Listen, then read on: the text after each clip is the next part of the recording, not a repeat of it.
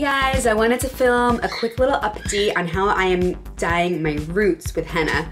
Originally I was using a shade of henna that was more red orange, but now I've been using a wine red color. So I wanted to show you how it looks after I touch up my roots. Here you can see my roots, which have grown in a considerable amount. And you can also see where the last time I colored my hair is. So it's right around here. Now it's time to give it a touch up. What do you think?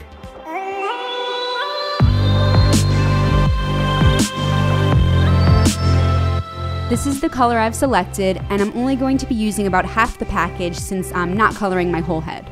I'm adding a splash of apple cider vinegar because the acidity helps with dye release. I'm heating up some water so it's warm but not boiling. Then I'm adding the warm water to the powder gradually and mixing with a spatula to monitor the consistency.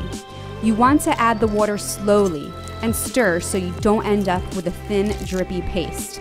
We're aiming for it to look like a thick pudding or cake batter. So I'm in the bathroom now and I'm about to shampoo my hair with a clarifying shampoo, which is important to do before you henna to get rid of any residual oil that might be on your hair or product buildup. I know I have like a bunch of dry shampoo up top, so you want your hair to be like in a really clean, squeaky clean type of state before you start the application. Using gloves on your hands and whatever tools you prefer, begin working the henna into your roots and be careful not to miss any spots that you can't see in the back of your head.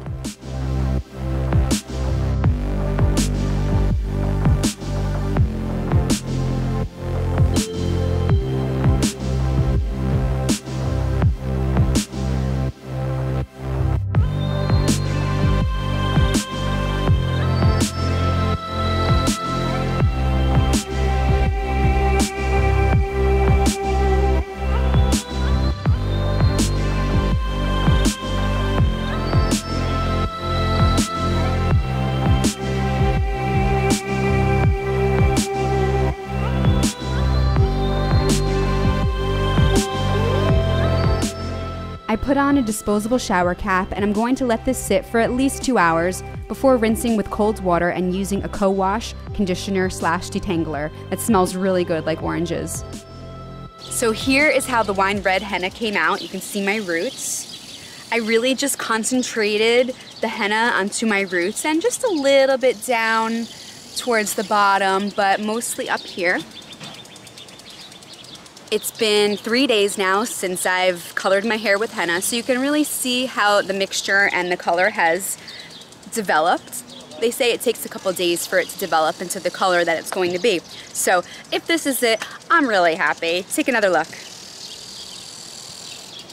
I'm very happy with how this came out, knowing that it's all natural. As I'm washing it out and some gets in my mouth, I don't have to worry about what chemicals I'm swallowing because it's all plants. So feeling good about that and you should give it a try. I also put the mixture onto my eyebrows so you can see how they came out too. Close up. Anyway, thanks so much for watching this video. I hope you try using henna at home. It's safe, it's effective, it really gives a nice vibrancy, and you can do it at home. So Thanks so much for watching and I'll see you again next time. Bye.